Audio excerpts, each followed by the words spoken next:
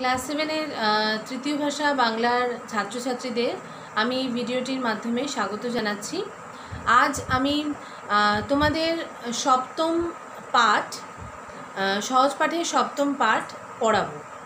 তো তোমরা জানো যে তোমরা এর আগে ষষ্ঠ পাঠ পর্যন্ত পড়েছো ভিডিওর মাধ্যমে।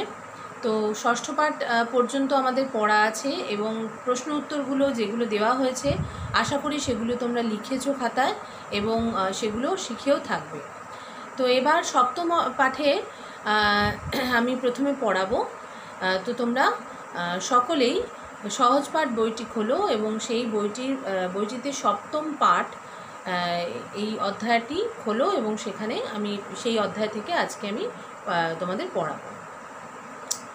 শ্রীশকে বলো, তার শরীর যদি সুস্থ থাকে সে যেন বসন্তর দোকানে যায়।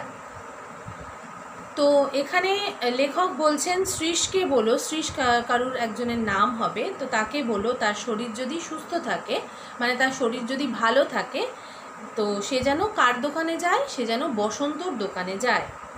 সেখান থেকে খাস্তা কচুরি আনা চাই খাস্তা কচুরি একটি কি বলব খাদ্য, খুব উপাদেয় খাদ্য।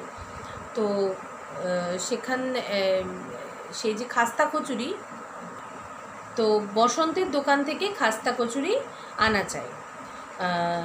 আর কিছু পেস্তা বাদাম কিনে আনতে হবে। তো লেখক বলছেন, শুধু খাস্তা কচুরি নয়, পেস্তা বাদাম। পেস্তা বাদাম সাধারণত ওই কোনো শরবত, শরবতে বা এমনিও খাওয়া যায় বা কোনো মিষ্টি জাতীয় কিছু তৈরি করে পেস্তা বাদাম দেওয়া হয়।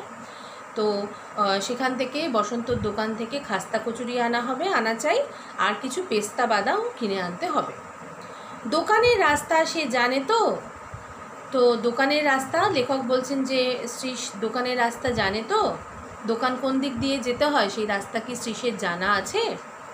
বাজারে একটা আস্ত কাতলা মাছ যদি পায়, নিয়ে আসে যেন। তো লেখক বলছেন যে শ্রীশ তো বসন্তের দোকানে যাবেই।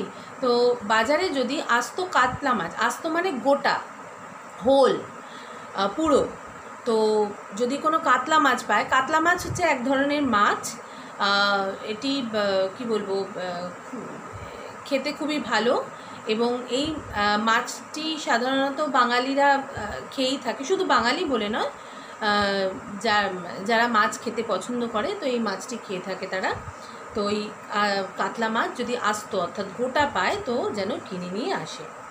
আর বস্তা থেকে গুনতি করে ত্রিশটা আলু আনা চাই তো বস্তা থেকে, আর কি বলেছে যে বস্তা থেকে গুনতি করে, গুনতি মানে গুনে গুনে। বস্তা থেকে গুনে গুনে কটা আলু আনা চাই বস্তা থেকে গুনে গুনে তিরিশটা। ত্রিশ মানে হচ্ছে তিরিশ, থার্টি। তিরিশটা আলু আনা চাই এবার আলু খুব সস্তা। তো এবার আলু, সেটা খুব সস্তা। সস্তা মানে খুব চিপ, খুব কম দামে পাওয়া যায়। একান্ত যদি না পাওয়া যায়, কিছু ওল আনিয়ে নিও। তো যদি একান্তই আলু না পাওয়া যায়, তো কি আনাতে বলেছে? তো একান্তই যদি আলু না পাওয়া যায়, তাহলে ওল আনাতে বলেছে। ওলও মাটির তলায় হয়। তো এটি খেতেও খুব মানে উপাদেয়। একটি একটি সবজি টাইপের মানে ওই আলু টাইপের খেতে একটু কি বলব, একটু অন্য রকম অন্যরকম হয়তো আলুর মতনই না আলু ওই ওল, ওলের তরকারি হয় নানা রকম রাস্তায় রেধে খেতে হবে, তার ব্যবস্থা করা দরকার। তো কি বলছেন লেখক? যে রাস্তায় খেতে হবে, তো রাস্তায় যে বেঁধে খেতে হবে, তো তার জন্য তো একটা ব্যবস্থা করা দরকার, একটা উপায় বার করা দরকার। রাস্তায় তো এমনি এমনি খাবার খাওয়া যাবে না, তার একটা উপায় বার করতে হবে। মনে রেখো, কড়া চাই, খুন্তি চাই, জলের পাত্র একটা নিয়ম তো কি বলছেন যে এই যে রান্না করতে হবে, তো রান্না করার তো এমনি এমনি রান্না করা যায় না? রান্না করার জন্য কিছু একটা মানে সরঞ্জাম লাগে। তো সেই সরঞ্জামগুলো কি কি? কি করতে হবে, কি নিতে হবে, মনে রেখো, কড়া চাই। কড়া মানে হচ্ছে কড়াই, যার মধ্যে ধরো রান্নাটা হয়, ঠিক আছে? খুন্তি চাই, যা দিয়ে রান্নাটা রাধা হয়।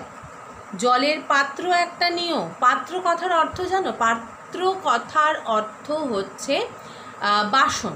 তো জলের বাসন একটা নিও, এটা বলা হয়েছে। আচ্ছা আর অত ব্যস্ত হয়েছো কেন? তো বলছে যে, অত ব্যস্ত কেন? আস্তে আস্তে চলো, ব্যস্ত মানে অত তাড়াহুড়ো কিসে অত তাড়াতাড়ি যাচ্ছ কেন? লেখক বলছে, আস্তে আস্তে চলো, বলছে আস্তে আস্তে ধীরে ধীরে চলো। ক্লান্ত হয়ে পড়বে যে? যে কেন তাকে বলছে যে তাহলে তুমি কেন তাড়াতাড়ি যেও না? কারণ তুমি তুই যদি তাড়াতাড়ি যাও, তাহলে তুমি অল্পেই ক্লান্ত হয়ে পড়বে। তো আশা করি তো তোমরা এখানে যে এই লেখাটা বা এই অল্প যে অংশটুকু, এটা বুঝতে পেরেছ।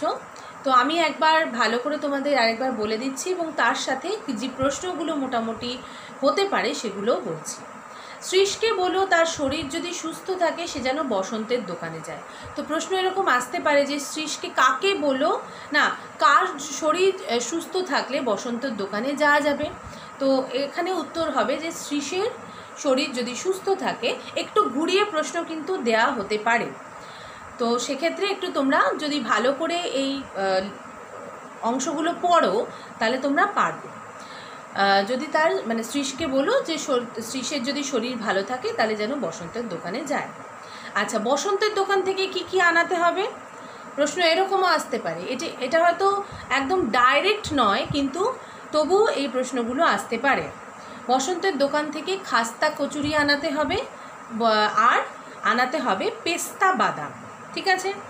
আচ্ছা তো বাজার থেকে কি আনাতে হবে? বাজার, দেখো, এখানে কিন্তু একদম ডাইরেক্ট লেখা নেই যে বাজার থেকে কি কি আনাতে হবে। কিন্তু এখানে লেখা আছে যে বাজারে একটা আস্ত কাতলা মাছ যদি পায় নিয়ে আসে যেন, আর বস্তা থেকে গুনতি করে ত্রিশটা আলু আনা চাই। এই যে কথাগুলো, এই কথাগুলোর মাধ্যমেই আমরা বুঝতে পারছি যে এবার আলু খুব সস্তা, একান্ত যদি না পাওয়া যায় কিছু ওল আনিয়ে নিতে হবে। এই যে তাহলে আমরা বুঝতে পারলাম যে বাজার থেকে কি কি আনাতে হবে। বাজার থেকে আনাতে হবে কাতলা মাছ, আলু এবং ওল। এরকমভাবে উত্তরটা লেখা হতে পারে। আচ্ছা আর কি এবার আলু খুব সস্তা? তো প্রশ্ন আসতে পারে যে এবার কি সবজি খুব সস্তা? এবার আলু খুব সস্তা। আচ্ছা রাস্তায় বেঁধে এখানে দেখো আরেকটা লাইন আছে যে একান্ত যদি না পাওয়া যায় কিছু ওল আনিয়ে নিও। তো আর এরম লেখা হতে পারে প্রশ্ন যে আলুর পরিবর্তে কি আনানো যেতে পারে? তো তোমরা হয়তো অনেক সময় এই প্রশ্নটা যেহেতু ডাইরেক্ট হয় না, হচ্ছে না, তো তোমরা হয়তো ঘাবড়ে যেতে পারো, তো ওরকম ঘাবড়াবে না। ভালো করে পড়বে অংশটি এবং পড়ার পর তোমরা দেখতে পারবে, তোমরা লিখতে পারো, পারছ ভালো করে। তো এরকম লেখা যেতে পারে যে আলুর পরিবর্তে ওল, আনানো যা যা হতে পারে। আচ্ছা রান্নার জন্য কি কি সরঞ্জাম নেওয়া যেতে পারে? নেওয়া যাবে। রান্নার জন্য কড়াই কড়া এখানে লেখা আছে, তো কড়াই লিখবে, কড়া, খুন্তি নেওয়া যেতে পারে। আর কি চাই তার সাথে? আর লাগবে, আর চাই জলের পাত্র।